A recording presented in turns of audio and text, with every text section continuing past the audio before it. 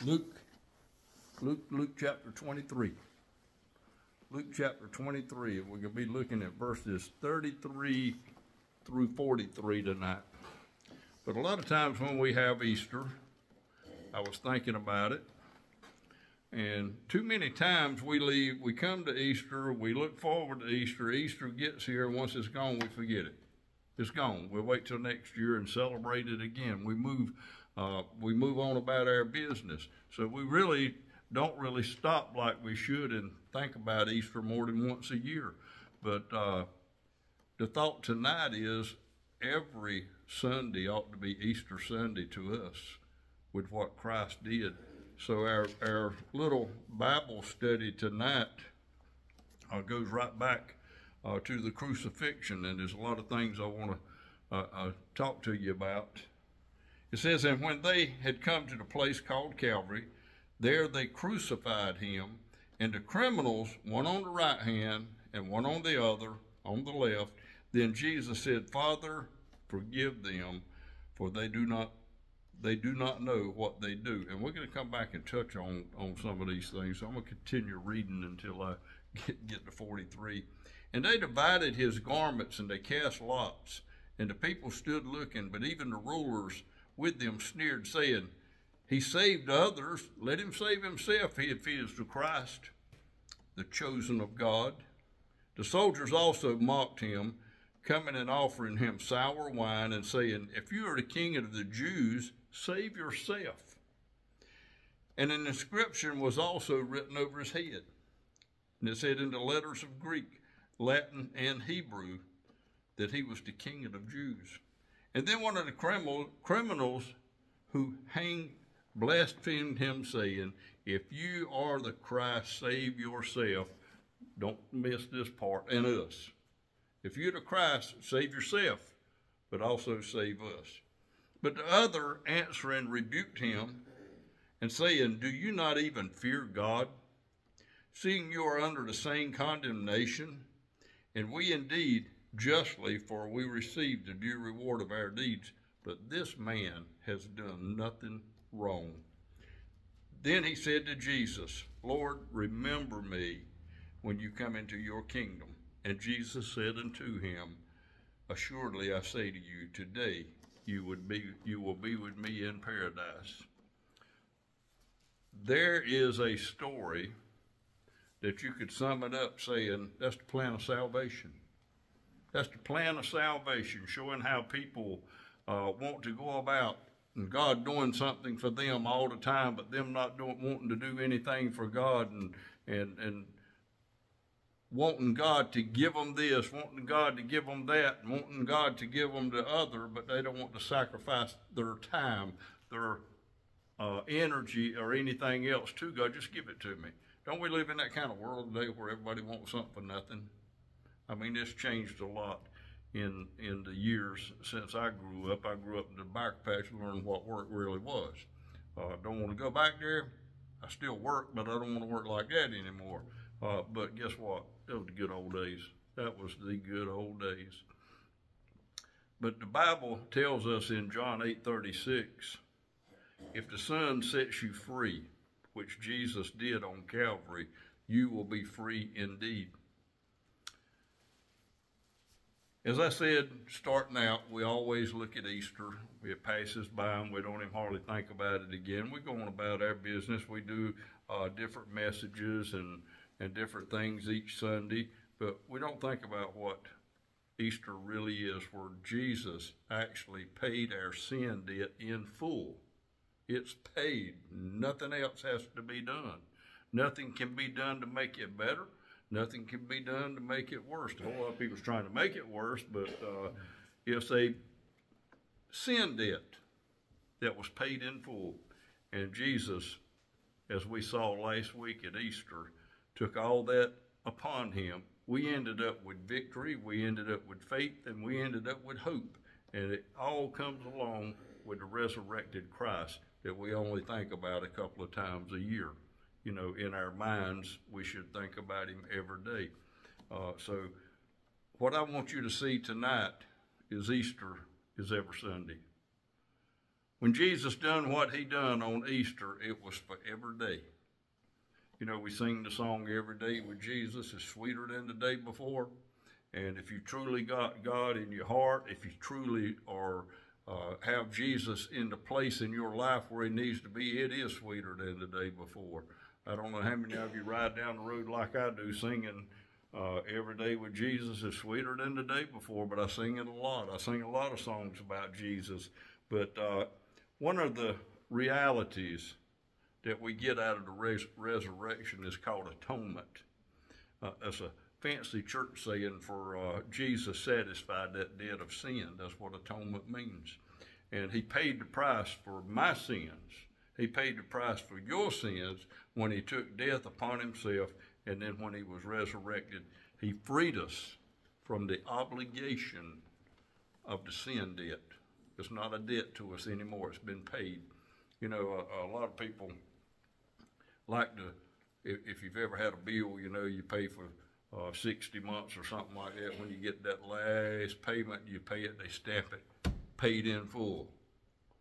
That's what Jesus did. You don't have to go back and pay any more interest. You don't have to pay anything because it's paid in full. And that's why he was resurrected, and that's why he took sin upon himself. Uh, the debt to freedom is also something he gave us. We, are, we shall be free indeed. It's a debt to freedom. Uh, we have what out of freedom? We have redemption.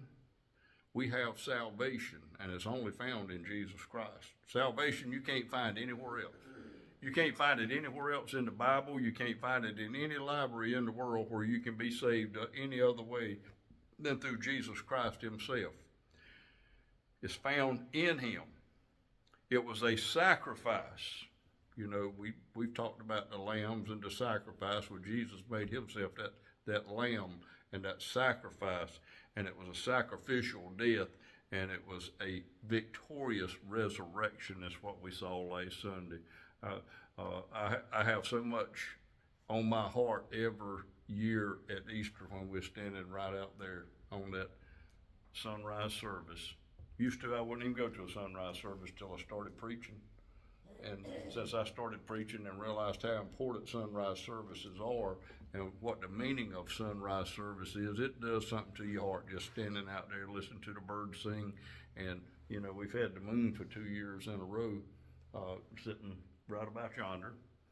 And it just gives you a different feeling when you realize what you're really doing out there we're looking where Jesus offered himself as a forgiveness for sins, a reconciliation with God. And we get something else out of that that we sometimes we don't even think about. What do we get by, by him forgiving our sins and by being reconciled to God? We get eternal life. Now, go back to the same statement I made a while ago. No book in the library anywhere in the world tells you how you can have eternal life.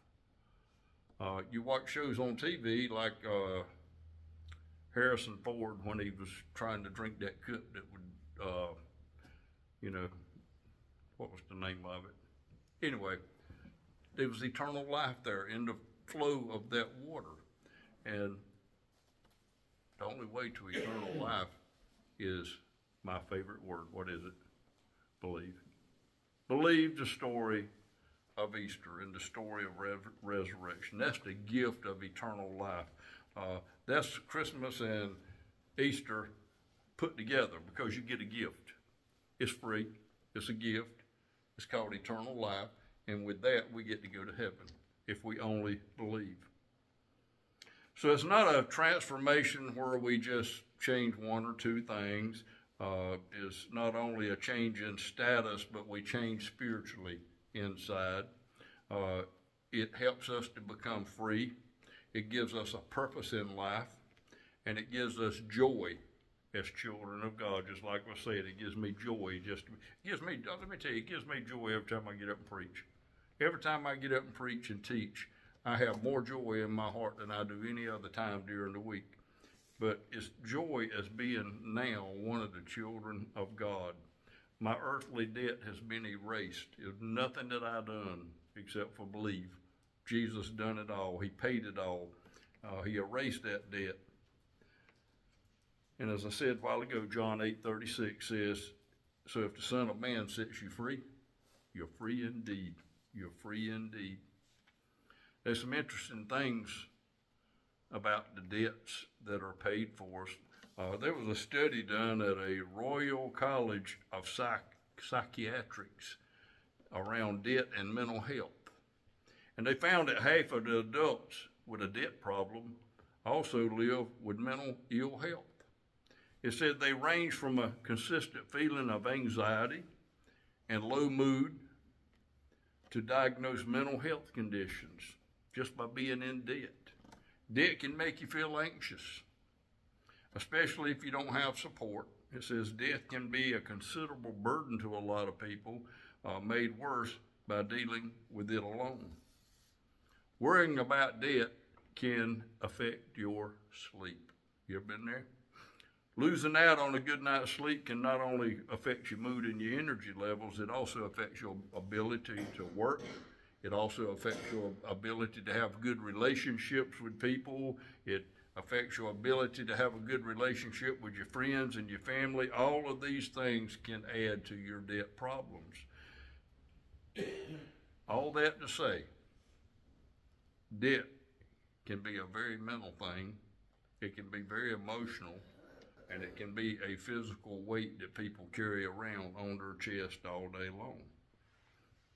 But you know, as we read in Scripture a while ago, Luke 22, 33, don't you just listen to it? And when they had come to the place called Calvary, there they crucified him and the criminals, one on the right and one on the left.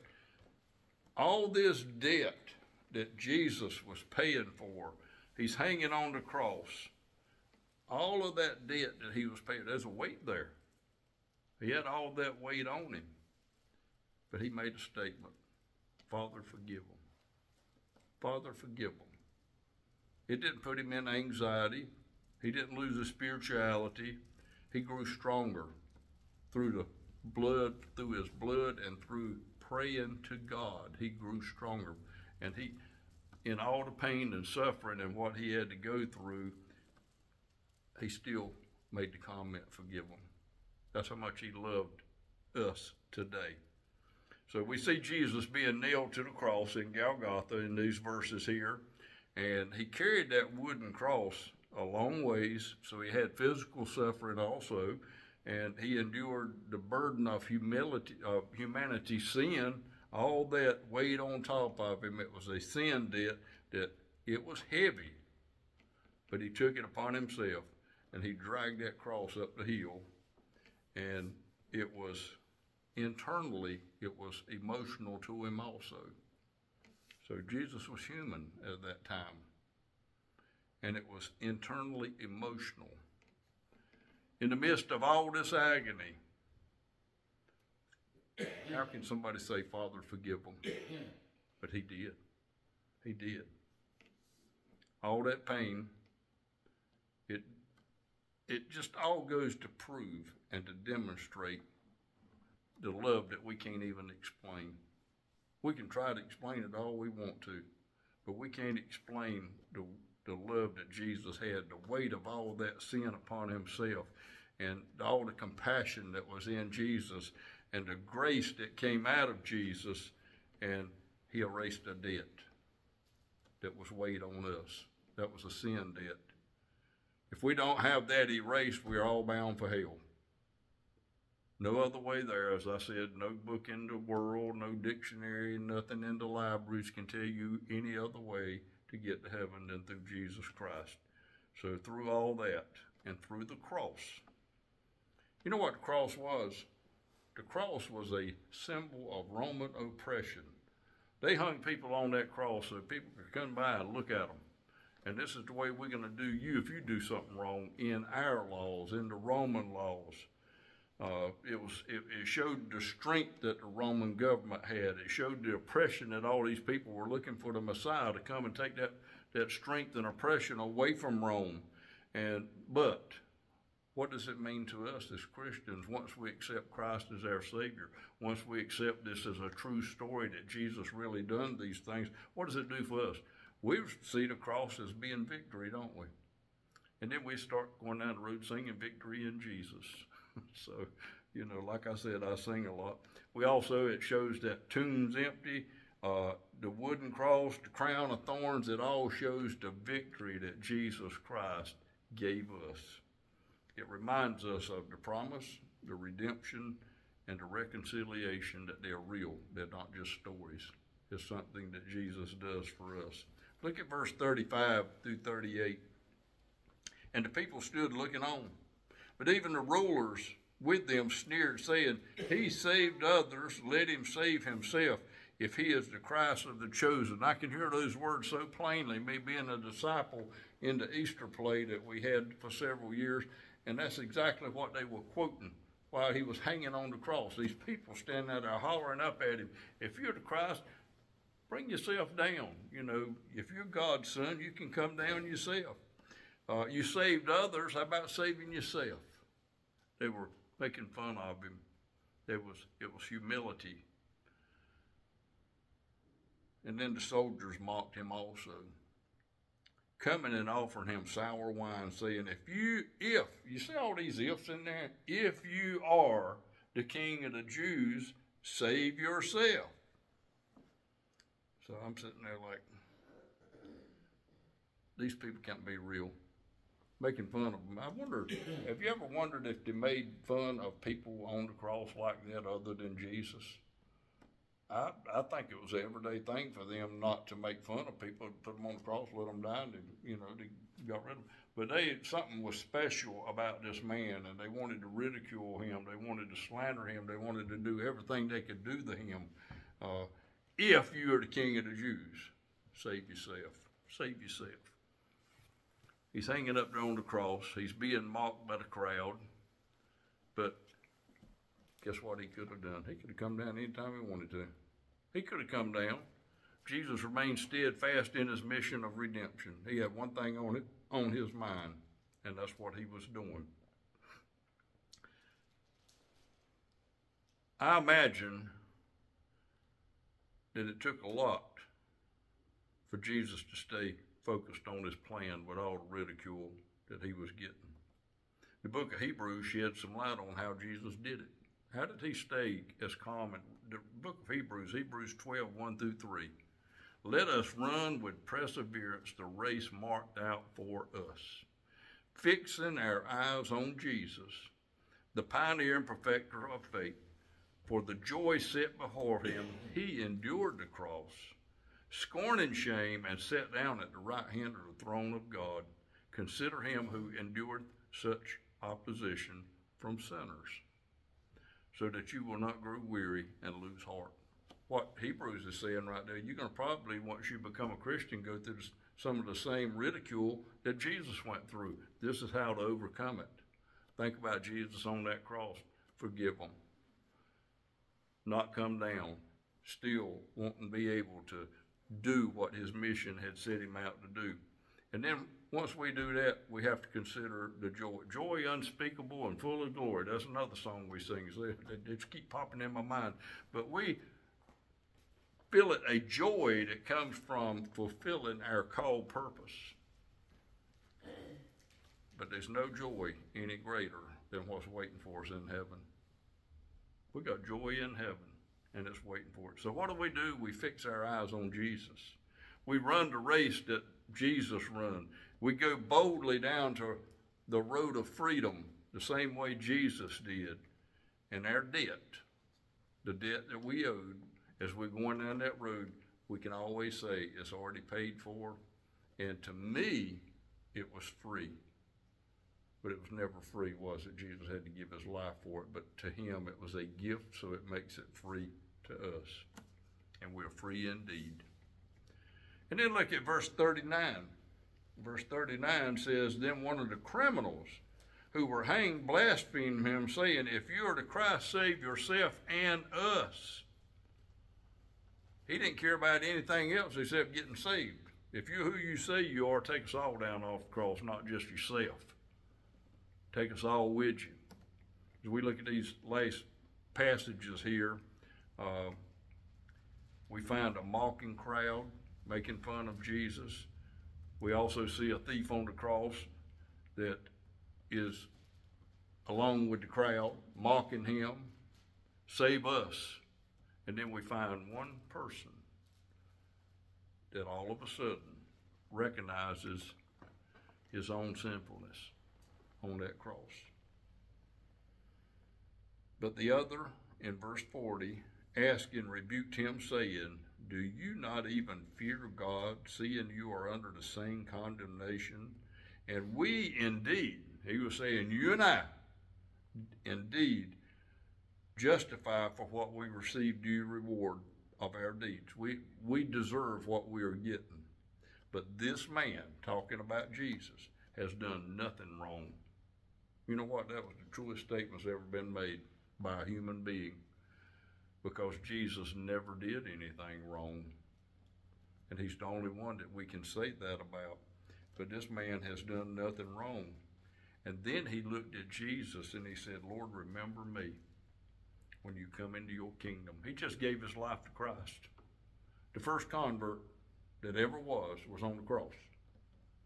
As far as Christianity goes, you know, we don't have Christianity before before Christ. We have people that got saved through the belief in God and the things that that they believed. They followed God's instructions, but this is to Christ dying. Christianity means Christ-like. And here's the very first one that acknowledged that Jesus was innocent and that he was the Son of God. And he got saved. Remember me when you come into your kingdom. And Jesus turned and looked at him, and he offered him some uh, significant uh, assurance. And Jesus said to him, Assuredly, I say to you, today you will be with me in paradise. Not tomorrow, not next week, not after the rapture, not after the resurrection, but today. Will be with me in paradise. So this shows how people that get transformed through the power of redemption that gives their life to Christ and has genuine repentance. And I use that word very carefully because you know a lot of people say they, they have repented of their sins, but it's not genuine. They keep doing the same thing over and over again. They haven't really given their life to Christ. But genuine repentance takes faith in Jesus Christ. And here these criminals are about to receive the same punishment. In the eyes of the Romans, they were killing them.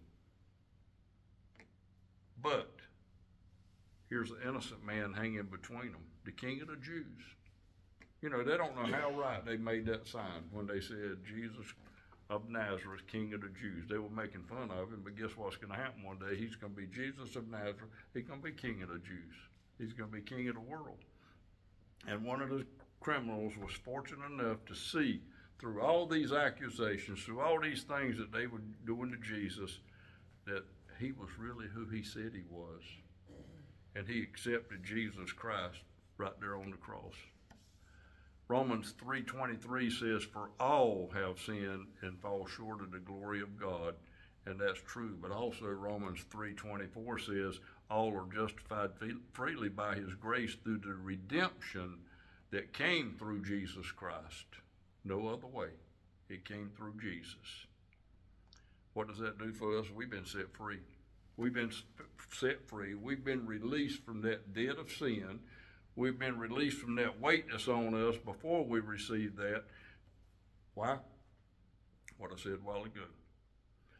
For if the Son of Man sets you free, you're free indeed. so we close with that tonight, talking about one word, not believe. We all know about the one word believe, but we also talk about freedom, what freedom really means. And it's freedom in the blood of Jesus Christ is given one way. It's given through him that follow him, and that freedom comes to all that does my word believe in him. So redemption, freedom, it all come through Jesus Christ. And Jesus said, I Assuredly to you, today you will be with me in paradise. He tells us the same thing today. If we receive him as our personal Savior, he's going to see us in heaven because he's gone to prepare a place for us. And we've been set free. And we are, as Christians, free indeed. And I'll quit right there. Any questions or comments? No, Chris, would you dismiss us, please? Uh,